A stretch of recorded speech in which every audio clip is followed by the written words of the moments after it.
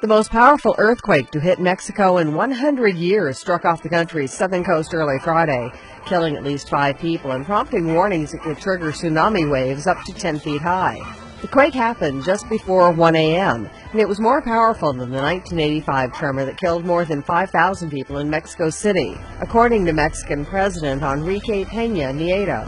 However, with an epicenter 40 miles off the coast and some 460 miles from the capital itself, the damage appeared to be far more limited. According to authorities, at least five people were killed by the quake.